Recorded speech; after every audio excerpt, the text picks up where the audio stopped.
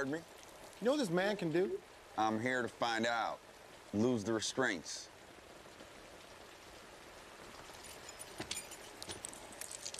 Hey. Was this, uh, cheerleading tryouts? Let's go. Let's see what you can do.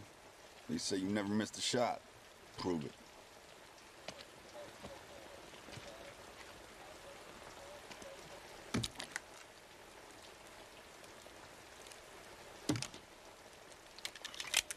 Mm-hmm. You got one in the chamber. What you gonna do with it? Give me the word, boss. I'll drop him. Everybody calm down. Griggs, tell your men to stand down. Stand down! Colonel, for the record, this is exactly what I was concerned about. What's for dinner? Ames, if this man shoots me, I want you to kill him. And I want you to go clear my browser history.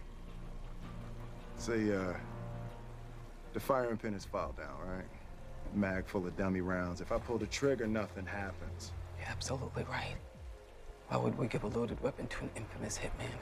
Go ahead, pull the trigger. Empty it. Don't empty nothing. You don't even know this lady. I've known you like nine months. Remember when I brought you that cookie? That was a real cookie. What? Oops. Y'all jokers must be crazy.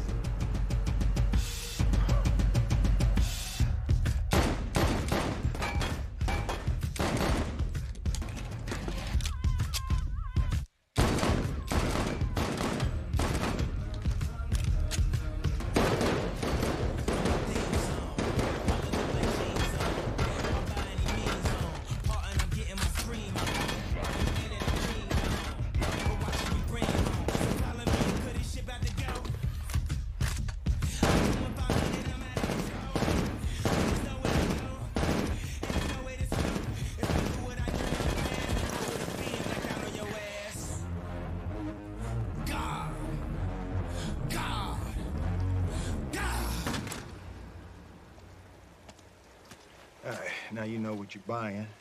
Let me tell you the price. First, I want out of here. Second, I want full custody of my daughter.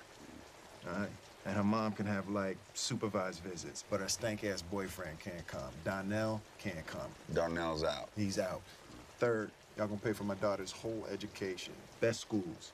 And then I want her to go to college, like Harvard or Yale. Ivy League. Ivy League, yeah, one of them big joints, you know?